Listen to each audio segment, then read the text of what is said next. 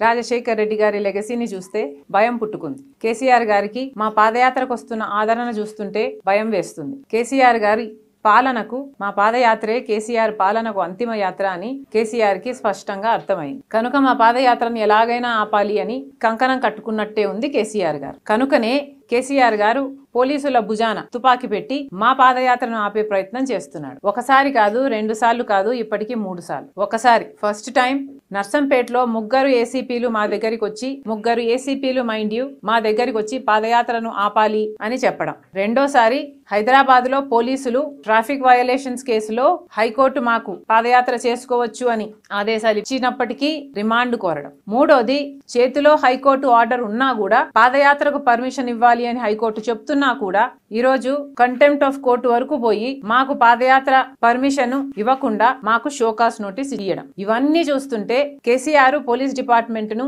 ఎంత భయంకరంగా జీతగాళ్ళలాగా TRS party కార్యకర్తల్లాగా వాడుకుంటున్నాడు అన్న విషయం స్పష్టంగా అర్థమవుతుంది. ఈరోజు మన police department Telangana state police కాకుండా టిఆర్ఎస్ పోలీస్గా మారింది. ఒకసారి కాదు రెండు సార్లు కాదు ఇప్పటికి మూడు సార్లు గత కొన్ని రోజులుగానే ఈ పాయింట్ పదే పదే నిరూపణ అయింది మేము పాదయాత్ర చేస్తుంటే మీ అవినీతి బయట పెడుతుంటే మీకు జీర్ణం కావట్లేదు. ఒక మహిళ పాదయాత్ర చేసి మీ లోపాలను ఎత్తి చూపుతుంటే మీకు జీర్ణం కావటం లేదు. ఒక మహిళ మీ నియోజకవర్గానికే వచ్చి మీ అవినీతి మీ వైఫల్యాలను ఎత్తి చూపుతుంటే మీకు జీర్ణం కావట్లేదు. కనుక ఎలాగైనా నా పాదయాత్రను ఆపాలి అని కంకణం కట్టుకున్నారు. మీరు గమనిస్తే ఈ పాదయాత్రను ఆపటానికి కలిగిన కారణాలు వాళ్ళు ఇచ్చింది నేను శాంతి భ- భద్రతలకు ఆటంకం కలిగిస్తున్నాను అని. నేనా నా బస్సు తగలబెట్టింది? నేనా మా వాళ్ళని ఇష్టం వచ్చినట్టు కొట్టింది? నేనా మా కార్లను ధ్వంసం చేసింది? ఇవన్నీ టిఆర్ఎస్ పార్టీ చేశారు. శాంతి భద్రతలకు ఏ ఒక్క నియోజకవర్గంలోనైనా మేము విఘాతం కలిగించలేదు.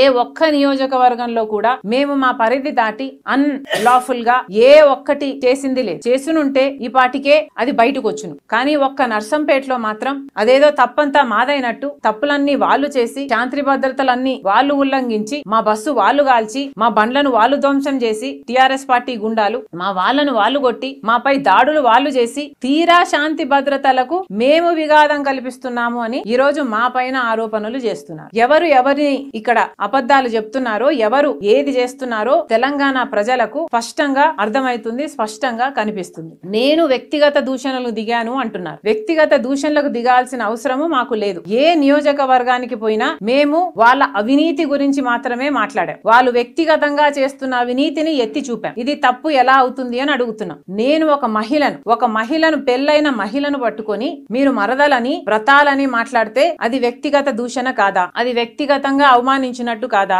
అది వ్యక్తిగతంగా నన్ను కించపరిచినట్టు కాదా? తప్పులన్నీ మీరు చేసి వ్యక్తిగత దూషణలు మీరు దిగి మీరు నన్ను అన్నన్ని మాటలని ఈ రోజుటి వరకు కూడా ఒక అపాలజీ చెప్పకుండా పైగా కేసులు నా మీదే మోపి నన్ను ఎంత చిత్ర హింసలకు గురి చేస్తున్నారో తెలంగాణ ప్రజలు మొత్తం ప్రజలు అందరూ గమనిస్తున్నారు. మళ్ళీ చెప్తున్నాం కేసీఆర్కు ఒక మహిళ మూడు వేల ఐదు వందల కిలోమీటర్లు పాదయాత్ర చేసి ప్రభుత్వ వైఫల్యాలను ఎండగడుతూ ఈ రోజు ప్రజల మధ్యనే ఉంటూ ప్రజల పక్షాన పోరాటం చేస్తున్న ఏకైక పార్టీ వైఎస్ఆర్ తెలంగాణ పార్టీ. ఏ నియోజకవర్గంలో చూసినా అవినీతి ఉంది. కానీ ఆ ఆ నియోజకవర్గాలలో ఉన్న అపోజిషన్ పార్టీస్ను ప్రభుత్వ ఎమ్మెల్యేలు కొనేసడమో లేకపోతే పార్ట్నర్లుగా చేసుకోవడమో చేసుకున్నారు కాబట్టే ఇన్ని సంవత్సరాలు వాళ్ళ ఆగడాలు సాగాయి. ఎనిమిది సంవత్సరాలుగా ఏ ఒక్కరూ వీళ్ళ తప్పులు ఎత్తి చూపకుండా వీళ్ళు ఆడిందే ఆటగా పాడిందే పాటగా సాగింది కాబట్టి వీళ్ళ ఆగడాలు ఎనిమిది సంవత్సరాలుగా కొనసాగాయి. ఇప్పుడు ఒక మహిళ వచ్చి రాజశేఖర రెడ్డి బిడ్డ వచ్చి మీ అవినీతి ఇది అని ఎత్తి చూపితే మీరు తట్టుకోలేకపోతున్నారు. ఎక్కడ మా అవినీతి బయట పెడుతుందోనని భయంతో వణికి సస్తున్నారు. మీరు నిజంగానే నిజాయితీ పరులైతే మీరు నిజంగానే అవినీతి చేయకపోతే మీరు ప్రజా ప్రతినిధులు కాబట్టి మీ నియోజకవర్గాల్లోనే ఒక పబ్లిక్ ఫోరం ఏర్పాటు చేయండి మేము సవాలు చేస్తున్నాం. మీ మీ నియోజకవర్గాలలో ఎవరి మీదైతే నేను ఆరోపణలు చేశానో మీరు పబ్లిక్ ఫోరం ను ఏర్పాటు చేయండి. ఏ ప్రజలైతే నా దగ్గరకు వచ్చి మీ గురించి కంప్లైంట్ చేశారో ఆ ప్రజలు వస్తారు. రిపోర్టర్లు వస్తారు. ప్రతిపక్షాలు వస్తాయి. మేము వస్తాం. మేము చేస్తున్న ఆరోపణలు అక్కడ బయట పెడతాం. మీరు నిజంగానే అవినీతి చేయకపోతే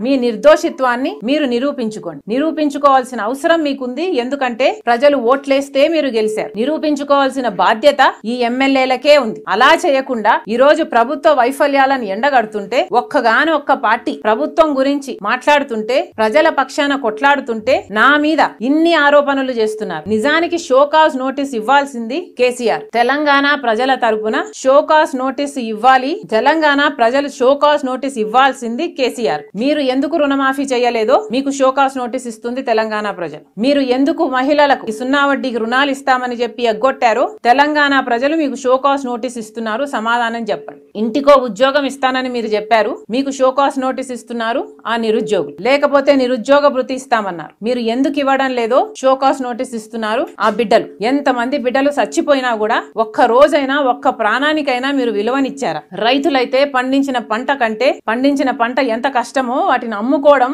అంతకంటే కష్టమైపోయింది. అప్పు లేని వాడు లేడు తెలంగాణ తెలంగాణ రాష్ట్రాన్ని అప్పుల పాలు చేసినందుకు మీ ఆస్తులు మాత్రం మీరు పెంచుకున్నందుకు తెలంగాణ ప్రజలే కేసీఆర్కు షోకాస్ నోటీస్ ఇస్తున్నారు. వీటన్నిటికీ సమాధానం చెప్పండి. డబుల్ బెడ్రూమ్ ఇల్లు ఇస్తామని చెప్పారు. ఎంతమంది పేదలకు మీ ఆశలు పెట్టుకొని ఉన్నారు? మీరు ఎందుకు కట్టలేదో షోకాస్ నోటీసు కేసీఆర్ కే ఇవ్వాలి ఇవన్నీ కేసీఆర్ సమాధానం చెప్పాలి. ఒక్క మాట కూడా మీ జన్మకు నిలబెట్టుకోకుండా ఈ రోజు నాకు షోకాస్ నోటీస్ ఇస్తారా? నిస్సిగ్గుగా అసలు ఒక మహిళ మన రాష్ట్రంలో ప్రజలకు జరుగుతున్న అన్యాయాన్ని ఎత్తి చూపుతున్న ఏకైక పార్టీ తరపున ఒక మహిళ మూడు వేల ఐదు వందల కిలోమీటర్లు పాదయాత్ర చేసింది. ఎండనక వాననక మేము పాదయాత్ర చేశాం మా ఇంటిని మా కుటుంబాన్ని పక్కన పెట్టి నెలల తరబడి రోడ్ల మీదనే బతికాం. దానికి మీరు ఇచ్చిన బహుమతి ఏమిటి? మా టెంట్లను ధ్వంసం చేయడం మా బస్సును తగలబెట్టడం మా బండ్లను ధ్వంసం చేయడం మా వాళ్ళని ఇష్టం వచ్చినట్టు కొట్టడం. ఇదేనా మీకు చేతనైంది? పోలీస్ డిపార్ట్మెంట్ను పనోళ్ళలాగా వాడుకోవడం. ఇందుకేనా మీకు అధికారం ఇచ్చింది? తెలంగాణ ప్రజలందరూ చూస్తున్నారు. కేసీఆర్ గారు ఈ షోకాజ్ నోటీస్ ఇచ్చిన దానికి సమాధానం చెప్పాలి. ఎన్ని ఇల్లులు కట్టారు?